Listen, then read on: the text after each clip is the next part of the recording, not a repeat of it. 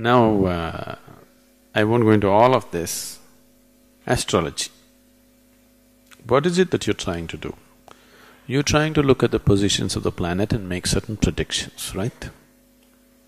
I want you to understand, most of the time, people who make good predictions are people who, you know, tell you about the past very clearly, or some people tell you tomorrow what's going to happen very clearly. They're not doing it looking at the planets, they're doing it looking at you. A certain intuitiveness is there in a certain person, he says.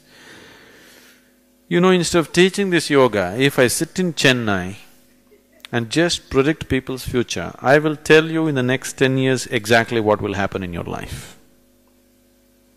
Within three days, I will have a reputation that half the Chennai will be standing in queue.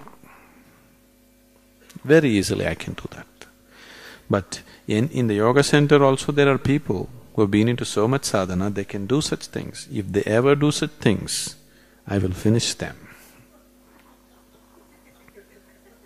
We won't let them go on with that nonsense. We'll immediately chuck them out of the place.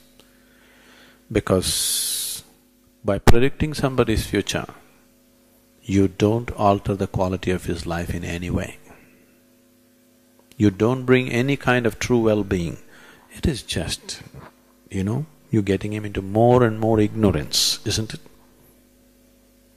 Now if you have the power to know your tomorrow, you will only become more ignorant, more egoistic, more stupid, more harmful.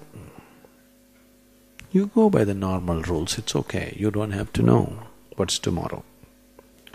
You are made like this right now, the quality of your life and your own way of being is such, if you know tomorrow today, you will not participate in today, isn't it?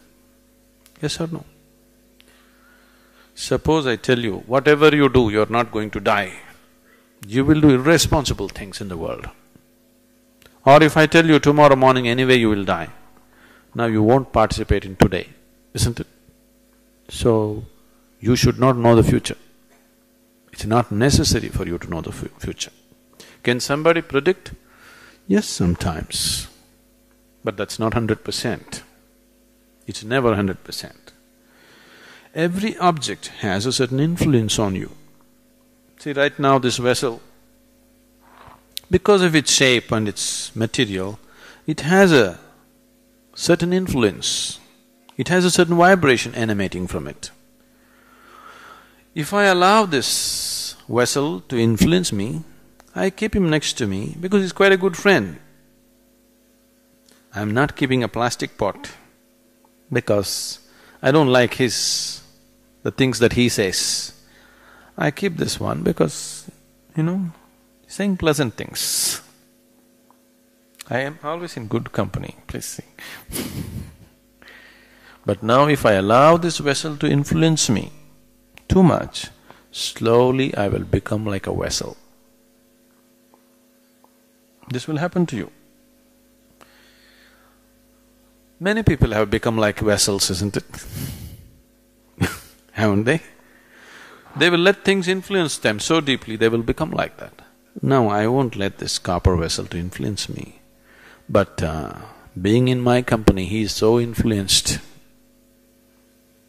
You will see, you take another copper vessel, you give me anything.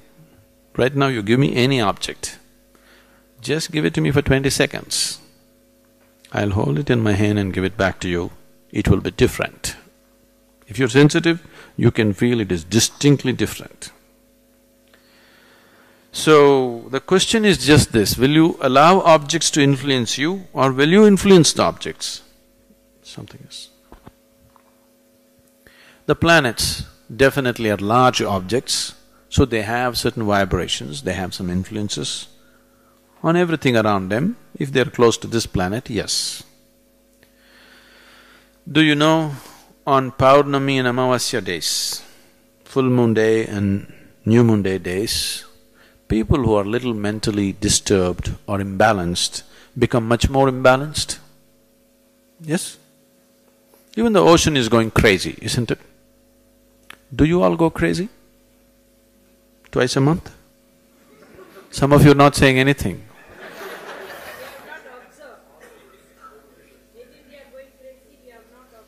Okay. Twice a month if you are going crazy, you would have observed. anyway, please ask your family, they will tell you.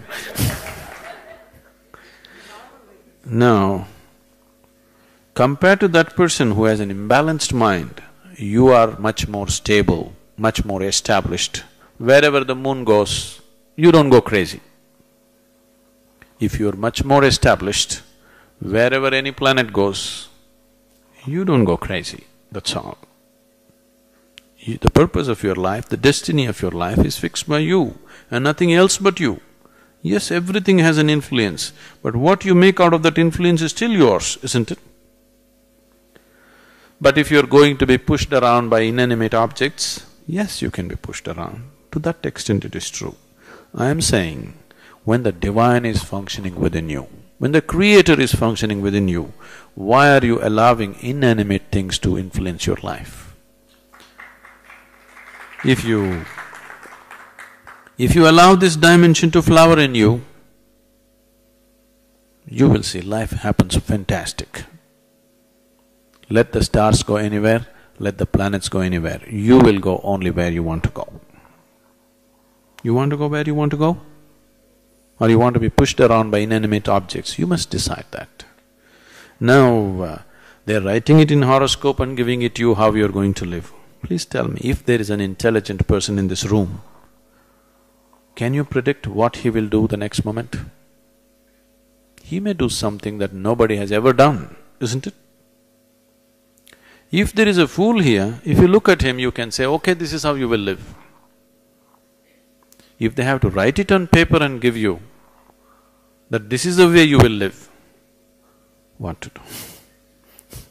That means you're refusing to use your intelligence, isn't it?